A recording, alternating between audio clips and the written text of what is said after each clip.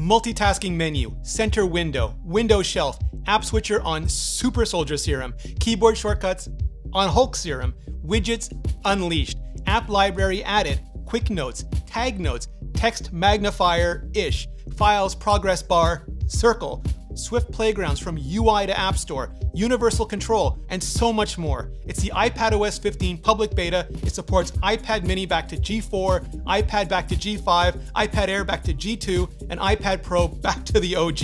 You can get it now, but just remember, beta means beta. So back up before you download, and then Let's go. Sponsored by Brilliant. I'm breaking down all the most important features from all of Apple's public betas and doing a slew of technical deep dives as well. So hit the subscribe button and bell so you don't miss any of them. I'm guessing Apple just ran out of time last year and couldn't bring a well thought out screen size and rotation optimized version of widgets and the app library to both the iPhone and iPad at the same time.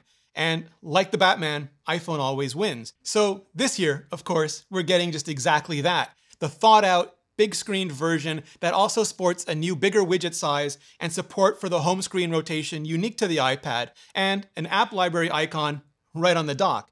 Just like the iPhone, you can now hide home pages you're not using and lean on Spotlight and App Library for your lesser used apps, even if search and categorization can still be a bit funky at times. There are some new widgets for Find My, Contacts, Mail, App Store, Game Center, and more. So yes, our long national iPad home screen nightmare is now officially over and we can move on to all the really new, new stuff. Now, no, you still can't boot camp into macOS on your iPad or run that or Windows for ARM in a virtual machine, as interesting, tantalizing even as that may be. Apple is still keeping the iPad uniquely the iPad, but they have seriously improved the multi-windowing experience on iPad OS itself. It's something they've been experimenting with for a few years now and has gone from frustratingly limited to consternatingly fussy and overloaded, but now now Apple's had another take a pencil into space moment of realization and decided to add a multitasking menu button to every window.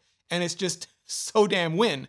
Go to an app, tap the button, pick between split view, slide over, and the new center window if it's an option, and you're off and productivizing or creatoring or however you multi do you. It makes it super easy, not gonna say it again, to create app pairs, to change those app pairs. Just touch the multitasking menu button, hold, and pull it down. Then replace the previous app with the next one you want to use. It's so good, I want it on the Mac, like now, now, now. There's also a new shelf mechanic that shows all the open windows for that specific app. It'll disappear when you're working so it doesn't get in your way, but come back again when you tap the multitasking menu button. And then you can use it to quickly and easily just swap into any of those open windows. You can also create and change app pairs right in the app switcher as well, which is great. And you can even use the keyboard for full-on multitasking and navigation now, which is greater, like Shakespeare the way it's meant to be done greater. The globe key is even uh, an extra modifier now for even more keyboard options. And when you hold the command button down to see all of your keyboard options, you can even search to find the ones that you specifically need at any given time. So for people who like to keep their hands right on that keyboard, you can do more with it than ever before. In the biggest escalation of continuity ever, if you have a Mac, you can now use it to fully control your iPad as well, up to two of your iPads if you want. It's not sidecar because your iPad stays an iPad. The Mac doesn't take over the screen. You can just keep your hands on your Mac's keyboard and mouse or trackpad to use your iPad as an iPad. I've done a whole entire explainer video on how exactly that all works already, so I'll just link to that in the description. The iPad is also getting all of the same new FaceTime and messages features as the iPhone, including SharePlay. That's the feature that lets you listen to music together or watch shows together or even screen share over FaceTime. I covered all the basics in the iOS 15 video. I'll link to that in the description as well. But the longer form video experience is certainly just much more captivating on the bigger iPad display which also lets you fit 20 people into the new FaceTime grid view. So if you know you and your local revival Hamilton cast want to jam about a Scotsman dropped in the middle of a forgotten spot in the Caribbean or whatever, Apple just needs to add broadcasting next. Ditto the new focus modes, which lets you set up customized do not disturb settings for different people and apps, even home screen pages that you can turn on or off from your iPad or any Apple device. Likewise, Safari is getting a slew slew of updates that I'll be covering in the macOS Monterey video as well. Back to the iPad stuff. Swift Playgrounds is absolutely all about the iPad. New this year is the ability to design in Swift UI, Apple's next generation cross-device interface builder, and in the biggest finally in the history of enormous finallys, you can now publish right from Swift Playgrounds to the App Store. In other words, you can finally, finally make iOS apps on iOS.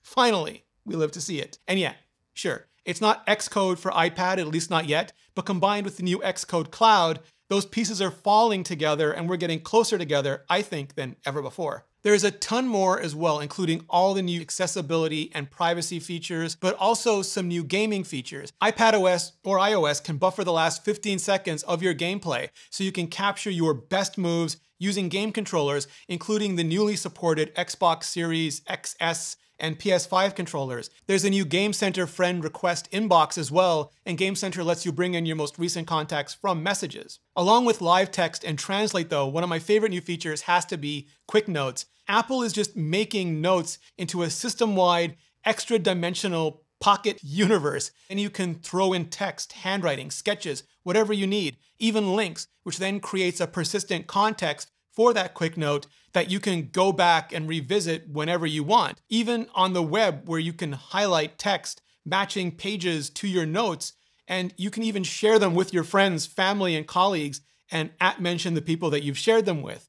Quick Notes then sync across iPad, Mac, even iPhone, and you can find them in your own little Pocket Universe, sure, or in the main Notes app as well. And I love it. I love it so much. It's like a whole meta commentary layer on the app and web universe. The only drawback is that it's limited to Apple's notes for now, but given how much integration, how integration happy Apple has been lately, after their usual year of stress testing, it's not hard to imagine them making it available to other notes providers. All my note-taking fingers crossed. If the built-in Notes app is your jam though, you can now draw on images, which, yes and thank you, and Apple has brought back the magnifier for text editing. It lets you move the cursor position around with your finger and actually see where you are moving it. It's just nowhere nearly as well crafted or good looking as the magnifier of Eld. So fingers also crossed Apple gives that a little bit more love before release. Also new to Notes this year are tags, along with a tag browser, smart folders based on the tags, the aforementioned at mentions for collaboration, along with an activity view and highlights to track those collaborations. And that part's not just for notes, but also for reminders, which also gets Siri announcements for reminders for AirPods and improved natural language input.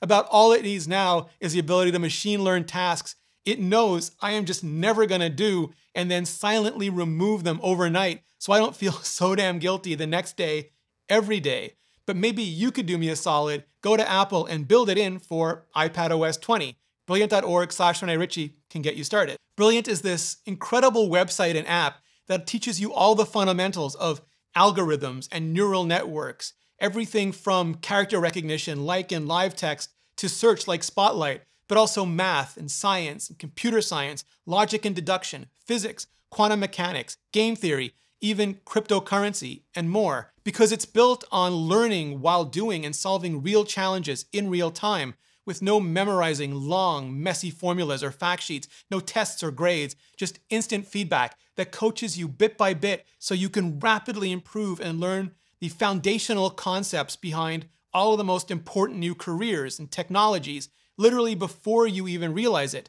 So if you want to go from using iPadOS to maybe working on it one day, you can get your start with Brilliant and you can do it today. Just go to brilliant.org slash Ritchie or click the link in the description, pick a course, and get started now. And clicking on that link really helps out this channel. Hit the playlist above or YouTube's personally selected video for you for more on all the public betas, features I didn't have room to cover in this video, and a bunch of deep dive videos to come. Just hit that playlist and I'll see you in the next video.